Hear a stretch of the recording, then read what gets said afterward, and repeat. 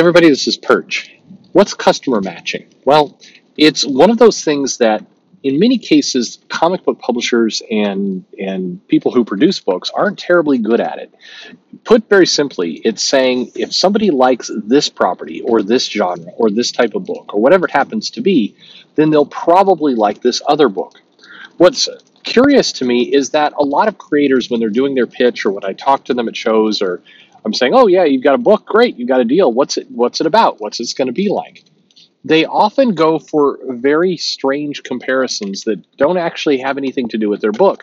In many cases, I think they want the book to sound important, so they'll say, "Well, we're going to do kind of a Frank Miller vibe from Daredevil, but we're going to mix it a little bit with a, you know, an old school." Uh, you know, Batman from the 70s, but it's going to have a contemporary flair. It's like, all right, that, none of those things make sense altogether. That doesn't that doesn't make any sense. You need to drill in more, not not to something you like or something you feel, but to something that actually resembles the book you're reading, or more importantly, what people who like other books will see in your book.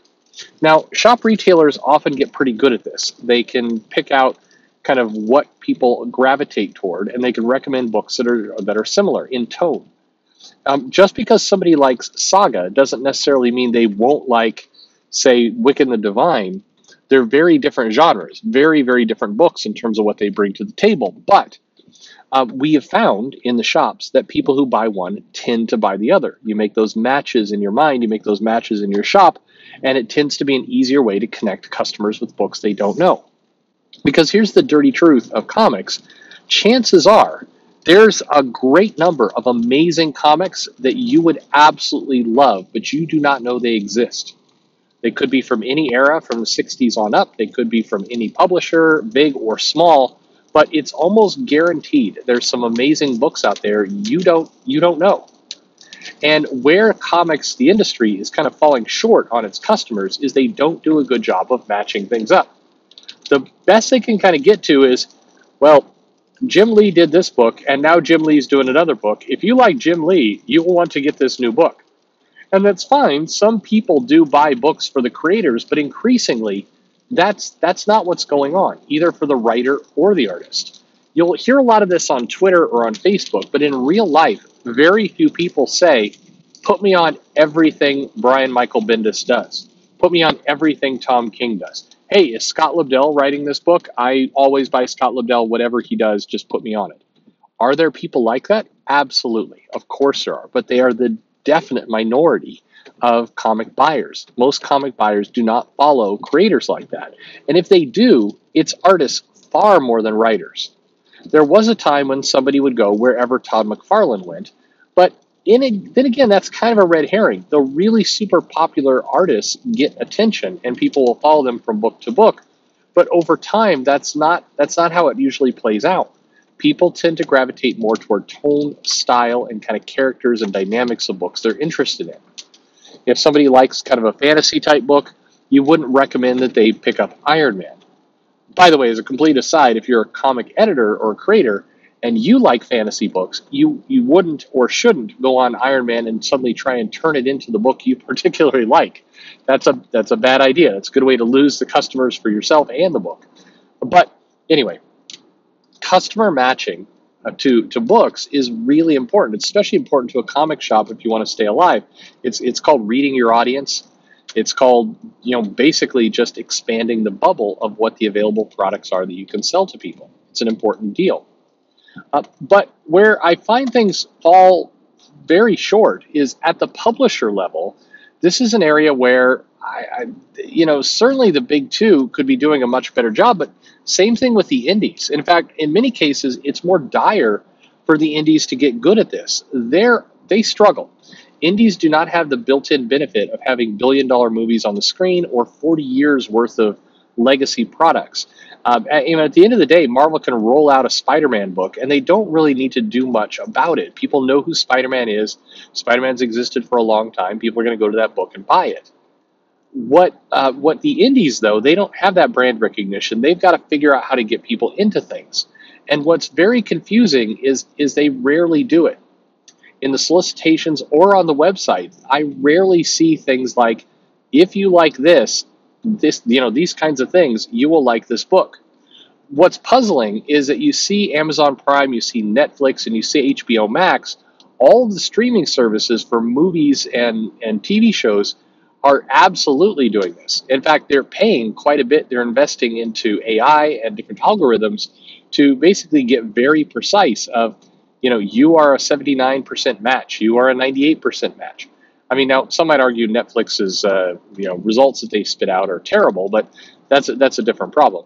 Why can't comics do this? In many cases, it would be much easier for comics. They have a more finite set of, of books and properties to deal with, but they also have more data they have sales data, they have trends, they do know kind of what goes to what. And so if you're an indie, you should be able to say, if you are a fan of the Kurt Busiek run of the Avengers in, say, 98, then this book is going to deliver that kind of feel to you. Now, they, they need to be honest. You know, if you're promoting and marketing something like that, and somebody picks it up and it's like, all right, this has nothing to do with anything that you're talking about. That's a that's a different problem. But customer matching, and and I'm telling you this for if you're an indie comic creator, if you're somebody who's trying to to make it big, but uh, you know you've got your new project out, you know definitely, definitely you've got to do this. Uh, whether even if you're doing a web comic, whatever it happens to be, help your customers out. Remember, your customers largely do not know you exist. You can certainly just go onto social media and start spamming everybody with, "Hey, I've got a book. Please go check it out. Here's some art." I, but, you know, by all means, do that. But a, a more successful long term strategy for you is figure out what your book is like tonally. Ask your friends, get people to read your comics, say, hey, what does this remind you of? Find some people who've read a lot of comics and go to them. No, I'm not volunteering for the job, but I am happy to do this for anyone. Um, go to some people and say, hey, what does my book remind you of? Then be prepared to get an answer you may not like or or or thought would have coming. Maybe somebody's like, "Yeah, this book totally reminds me of uh, you know Legion of Superheroes from the early '80s," and you may have never even read that book and and wondering what the hell this person's talking about. What you're really hoping for was somebody would say, you know, Spawn number one. That that's fine. That happens. But listen to what people are telling you in terms of what your book reminds them of and then when you go onto social media or you go onto your uh, your website or whatever happens to be, push that kind of stuff because search results, people will go searching for content they know. And if you can link in and attach to that, then you you basically like a parasite, that's not the right analogy to use, but like a like an attachment, you'll start to bring people who are interested in one thing over to your project. This will going to be one of the best ways to get a built-in audience, to start getting people interested in your stuff. Otherwise, you're competing in just a sea of, of kind of random noise. You're hoping people like you because you're a you're a nice woman or a nice man, uh, not not because the you know the content actually reminds them of something they want to buy. It's uh, it it's a it's a very easy thing to do. If you don't have practice, it may be tough. But if you are a small publisher, absolutely start making some matching for people. Go you know match up your customers your potential customers with some people who are already interested in a particular project, and you're going to have a much higher success of getting people pulled over to you. This is going to help.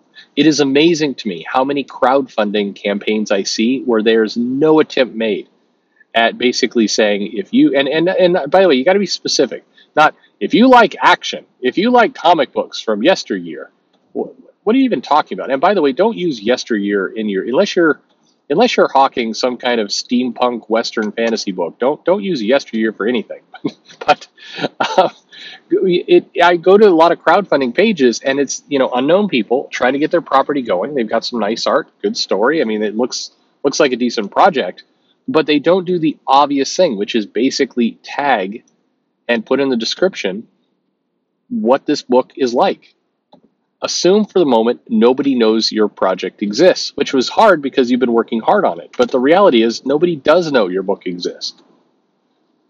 Find some people who are already interested in something that your book is like, and and you know sidle in, know, get get attached to that, so you start pulling that audience. It's it's an obvious one, and you'd be amazed how many people use search results in their browser and go looking for things they like and if you can start to tag and connect into that stuff, then suddenly you're going to be brought up in the same results and people are going to check you out.